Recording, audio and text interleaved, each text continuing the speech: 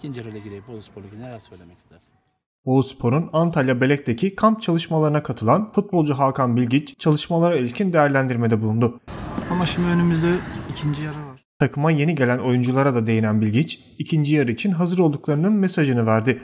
Bilgiç, ikinci yarıya güzel başlamak istediklerini işaret etti. Vallahi ilk yarıyı güzel bitirdik. İstediğimiz aslında puanı topladık.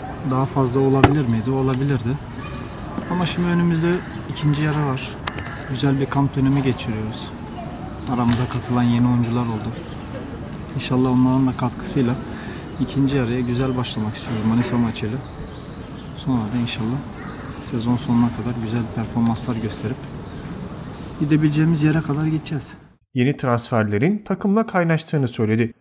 Yeni gelen arkadaşlarımızla da yani çok şükür onlarla da aramız çok iyi.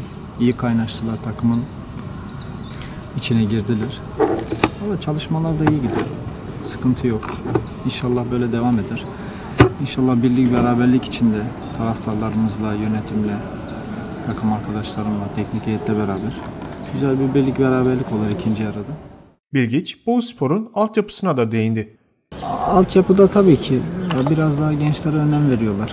Onların tabii onları daha çok takip ediyorlar. Onların özel sadece saha içinde değil saha dışındaki hayatına da önem veriyorlar. Onun için oy- oyuncular biraz daha kendini zorluyor orada. Kendine daha çok dikkat ediyor. Hem saha içinde hem saha dışında.